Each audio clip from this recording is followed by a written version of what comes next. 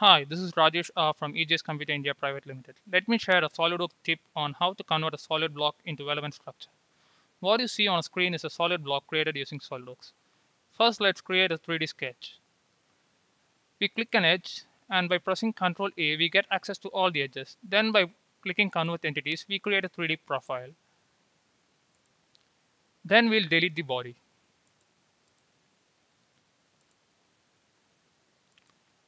The 3D profile remains. By using a powerful weldment tool of SolidWorks, we can create structural members of different standards, types, and size. First, we'll create a new group. We'll select the lines of the profile.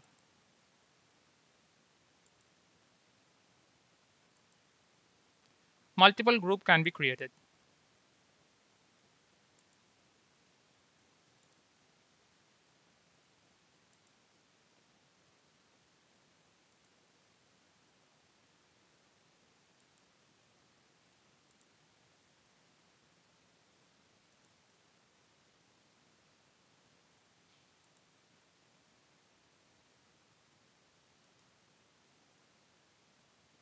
Then we'll click OK.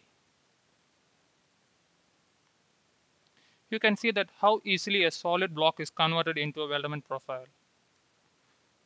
Hope you all enjoyed the video. Subscribe to our YouTube channel, visit our website. Thank you.